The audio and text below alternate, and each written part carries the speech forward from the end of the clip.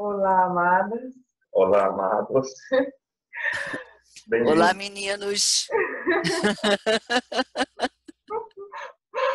meninos lindos, meninos travessos, meninos maravilhosos. É. Hoje, no nosso décimo programa,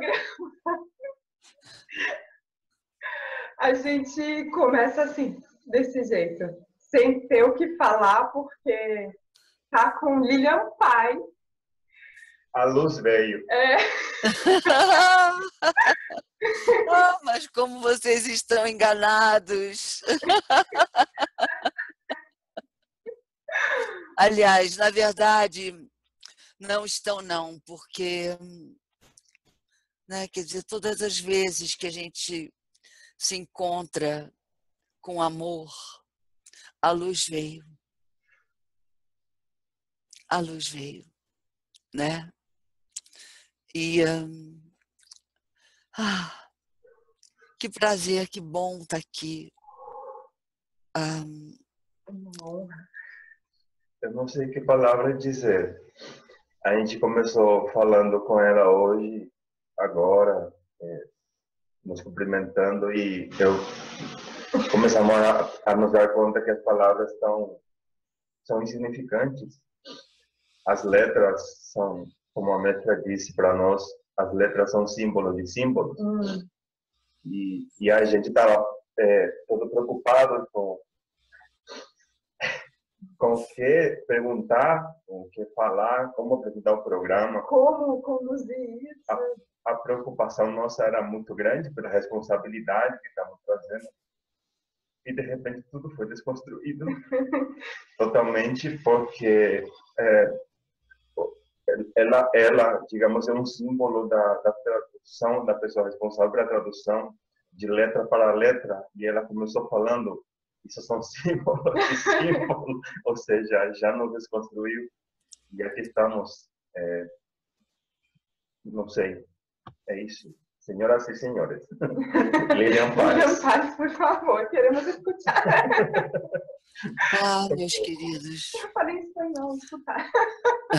Como eu já disse a vocês, ultimamente eu não tenho mais muita vontade de falar né? Porque é como se quer dizer, como nós estávamos falando antes, né? Quer dizer, se não houver uma experiência comum que antecede aquilo que a gente está um, intelectualmente falando, não significa nada. Quer dizer, você pode ouvir você pode saber o intelectual, mas isso não vai te trazer mais perto né, dessa felicidade que é a nossa lição de hoje. E eu estava pensando nela, né? Quer dizer, ele não diz que a minha vontade ah, para vocês, para ti, é a felicidade. Ele diz, é a felicidade perfeita. O que significa que, quer dizer, essa felicidade perfeita, a gente está longe de experimentar, porque aqui nesse mundo não tem nada perfeito né? Aqui nesse mundo nós estamos na forma. O perfeito está no espírito. E só no espírito. E só no espírito. Então, gente, hum, né, eu, eu, eu percebo, por exemplo, que uma forma que ajuda muito a mim é, quer dizer, quando eu, quando eu me dou conta que eu estou contando uma história, Tá entendendo que eu estou contando a minha história, a história da Lilian. Que tudo bem, eu já contei, já escrevi um livro, já tá entendendo? Essa coisa já já saiu de mim, mas mesmo tendo saído, eu ainda me pego contando histórias. Porque as histórias não param.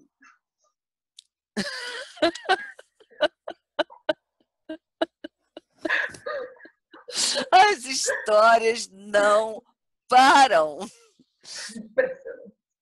Não é? Quer dizer, enfim. Um,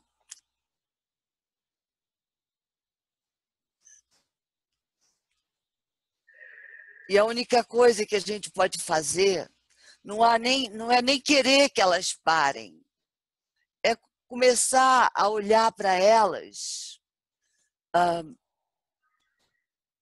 sem acreditar tanto, rindo mais, sem acreditar tanto que aquilo que para você, né, há dois minutos atrás estava cortando as tuas entranhas, de repente não está mais. Tá mais.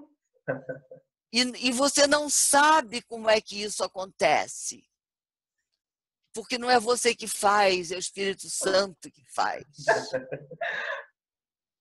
E só Ele.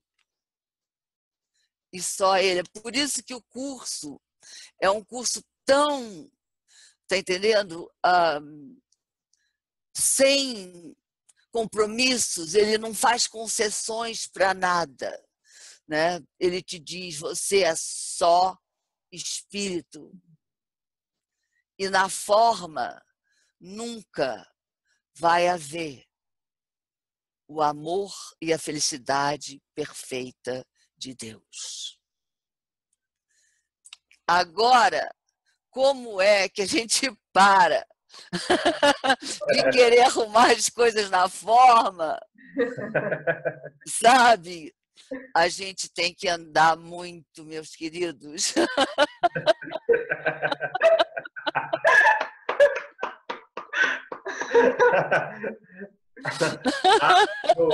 em, espanhol tem uma frase fenomenal, fenomenal, que diz assim, del dicho, do dito, yes.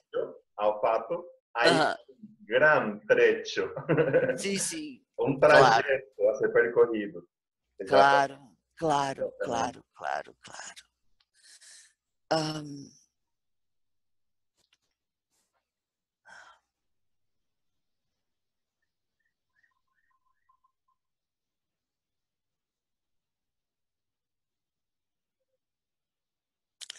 mas parece né, que tudo é necessário.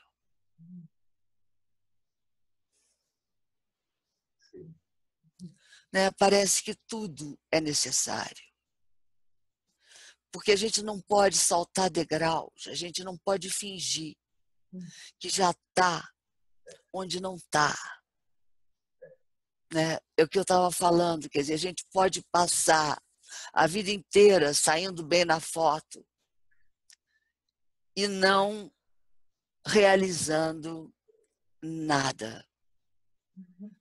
Porque se você está o tempo inteiro preocupado em sair bem na foto, você não está passando né, pela escuridão do ego, que tem que passar.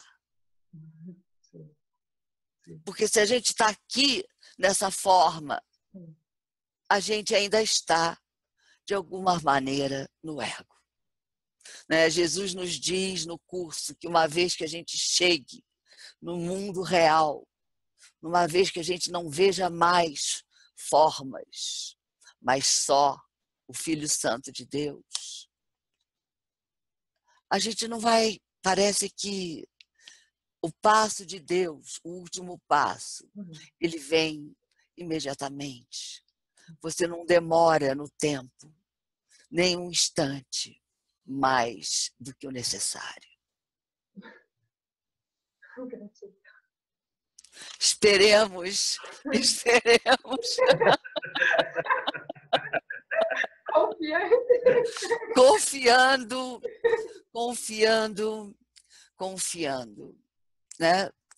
Apesar de tudo parece estar sendo um, desfeito, né? Quando a gente olha para o mundo hoje, né? Quando a gente olha o que está acontecendo no nosso amado Brasil, vocês tinham falado que né, gostariam que a gente falasse um pouquinho sobre, sobre o Brasil. Uhum. Mas, né, quer dizer, o que está acontecendo aqui também, quer dizer, na América, com a total né, falta de reconhecimento da importância da ecologia nesse momento. Se a gente não cuidar da terra agora, vai ser tarde demais. Né? E isso não importa, né? para o nosso trabalho com o curso Milagres. Ah, mas importa sim, enquanto a gente ainda é esse corpo. Né? Quer dizer, eu já sou uma velhinha, mas vocês vão ter, talvez, filhos. Né? E a gente quer que esses filhos, que serão forma, tenham ar, tenham água, e não, quer dizer, né, inventem de criar um outro país, um outro mundo, um outro planeta em Marte. Esse cara é louco.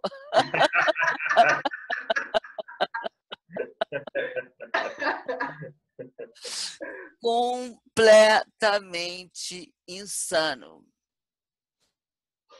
Aí. Insano. Que representação nós temos, né? O, o que, querida? Que representação nós temos, né? Aí. Pois é, exatamente. O que, o que nós escolhemos uhum. para nos representar, uhum. né? que é a mentira. Uhum. É a mentira. Quer dizer, no Trump não pode ser mais clara a mentira. No Brasil não pode ser mais clara a mentira. No Paraguai. No Paraguai também pode ser. Tá, é, é o país inteiro. Sim. É o país inteiro. Então, quer dizer, é o planeta inteiro. Um... Acredito, com licença, acredito que seja ali onde nós, como estudantes de um curso de milagres, queremos nos encaixar muitos que eh, que vêm da nova era, de, de vários caminhos, que, que, sempre tem aquela luta pela melhora a, aparente, mas sempre combatendo, querendo sempre levantar uma bandeira, no final de contas, também impondo algo, acaba de novo sofrendo quando se encontra com os milagres que lhe diz não tem mundo. Não importa. É. E aí diz, tá, mas então o que, que eu faço, meu Deus do céu, né? Então, aí entra essa coisa sã, da sanidade que, que o Espírito nos devolve a nos lembrar que apenas podemos ir entregando e naturalmente isso que a gente quer ver começa a se apresentar para que a gente faça exatamente a nossa parte. Exatamente. Exatamente. E um, né, a coisa, a frase, né, quer dizer, mais importante nesse momento que eu vejo do curso Milagres, né, é o nosso um, treinamento como espírito. Hum. É preciso que a gente treine muito hum. essa nossa realidade como espírito. E, ao mesmo tempo, a, o presente, né? o, a graça que vem com essa identificação com o Espírito. Então, aquela, aquela frase que é né, maravilhosa, porque ela representa tanto o curso, né, porque ela é tão racional, né, quer dizer, é um silogisma e o curso inteiro é isso, né? É uma frase que decorre da outra, que decorre da outra, que decorre da outra. né? Quer dizer, não, não tem nada aqui que não seja uh, racional. Né? Ele não pede para você acreditar hum, em nada que você não tenha vivido. Busca a experiência, né? Exato. Exato. Isso é tudo. Eu, eu, nem sei se a palavra é vivida, por isso que é difícil. É. Porque o que a gente fala de vivido está inserido no tempo e no espaço. E essas experiências não estão inseridas no tempo e no espaço. Uhum. Né? São instantes santos. Uau, uau. Que são que são totais naquele instante. Um sopro da eternidade, né? Exato. Exato. É isso que é isso que nos traz essa certeza de seguir em frente e nos entregarmos confiantes, né? Porque essa transcendência do intelectual que acontece com o curso, do entendimento do eu sei ou eu entendi, para essa leveza de, de chegar a um ponto e não querer opinar mais nada porque você está sentindo, isso basta. Pois é. Uma vez, como alguém nos disse, que o sentir é a coisa mais próxima que podemos usar como palavra para indicar o que é esse estado quando entregamos. Pois é, mas não tem palavra. É. Não tem palavra. Né? Porque o sentir também não é a experiência. Né? Porque o sentir está associado com alguma experiência, alguma sensação né? física. Né? E essa experiência ela pode ter uh, enfim, uma base na sensação física, mas ela transcende. Uhum. Se não transcender, não chega. Porque fica rodando no tempo e no espaço. Né? E tudo bem. Tudo bem. Tudo bem. Está gostando. Está se divertindo. Vai em frente. Que maravilha. Simples assim. Simples assim. É porque, porque não tem jeito de ser diferente. Só que a gente esquece muito. Então, para nós não esquecermos muito,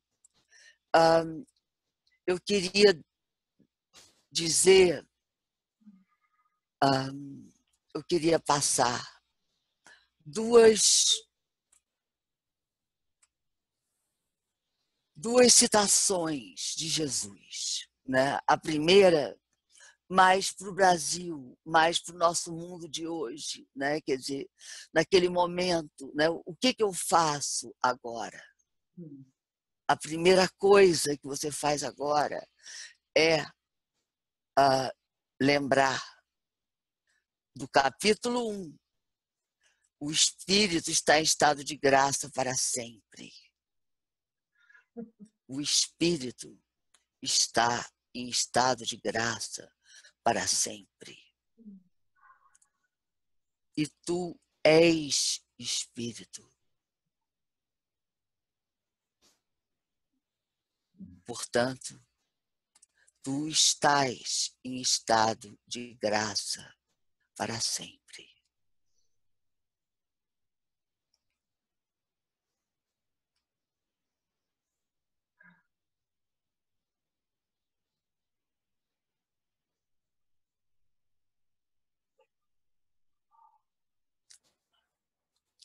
Então, né, a nossa identificação com o Espírito para nos fortalecer quanto ao que vai aparecer por aí a gente não sabe. Mas que o ego está realmente, né, talvez porque exista ah, tanta força para o amor. É uma força pequena, mas é uma força que não pode jamais ser derrotada, porque é a força de Deus. Né? E por mais que a gente pense que quer o ego, por mais que a gente pense né, que quer esse corpinho assado, cozido. Porque tem que ser o assado cozido, não serve qualquer um. é, isso mesmo. Pois é, né? Porque quando o ego pega, minhas queridas, ele vai fundo. Né? Quando o ego pega, ele vai pegar exatamente naquilo que é a nossa maior vulnerabilidade. Hum. Né? Não é, não é. Quer dizer, por isso que a gente estava falando, né? Quer dizer, quem não chora, quem não, né, fazendo o curso, não está fazendo o curso. Não está. Ah, então, né?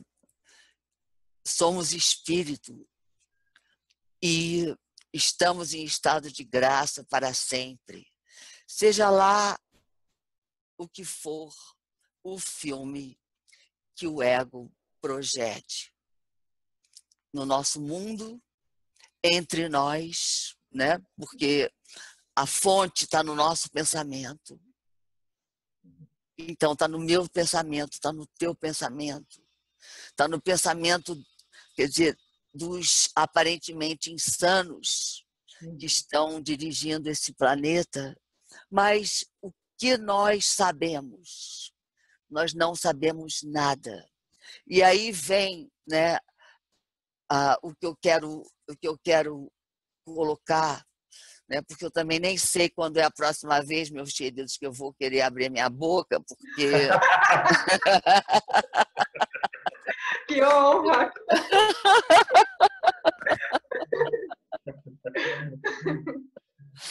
pois é. Então, um, isso é no final. Eu dei uma citação do capítulo 1 uhum. e uma citação do capítulo 31. No finalzinho do capítulo 31, no final do texto, quando acaba, quando acaba, ele nos diz, né, uh, não há declaração que o mundo tenha mais medo de ouvir do que essa. Eu não sei o que sou e, portanto, não sei o que estou fazendo, onde estou, ou como olhar para o mundo ou para mim mesmo. Entretanto, é aprendendo isso que nasce a salvação. E o que tu és te falará de si mesmo.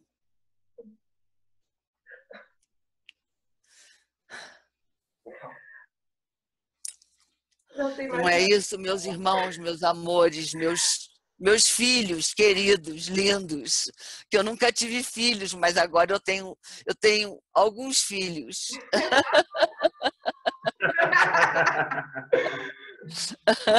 Desde o início, desde os nossos começos com o curso de milagres, a gente consultava com ela.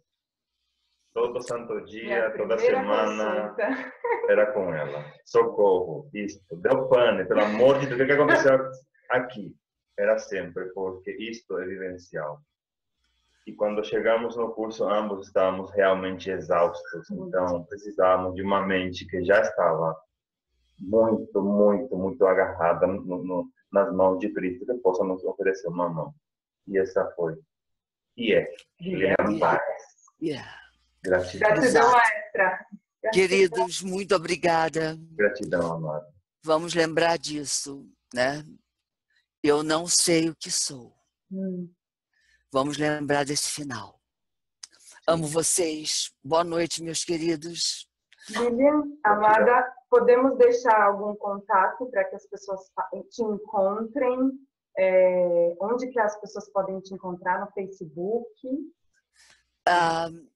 Pois é, eu tô, eu não sei o que está acontecendo, mas a minha enfim, quer dizer, a minha, a minha divulgação, o meu marketing precisa nascer de novo de alguma maneira, só ele que sabe. Mas eu tenho uh, uma página no Facebook, um grupo, que é o 100 com Lilian Paz. Uhum. Um, eu tenho a minha, a minha página pessoal, que é Lilian Paz. Uh, mas, na verdade, eu tenho trabalhado muito pouco uh, na internet. Muito pouco. Eu estou, enfim, quer dizer, eu estou pedindo luz sobre o que fazer, como fazer, entende? E vai nascer alguma coisa. Eu não, eu, eu não sou boa de computação. Entende? Eu, so, eu, eu, sofro com os computadores. Eu não quero mais ficar sofrendo com os computadores. Não precisa mais. Vai ter um outro jeito. Não sei como, mas vai ter um outro jeito. E nós vamos achar juntos, como a Helen disse para o Bill. Sim seja. Bye, bye, bye, bye. Bye, amado. Beijos, beijos, beijos, beijos muitos. Gratidão a Amo vocês. Amo vocês. Gratidão, amado. Bye. Tchau, querido.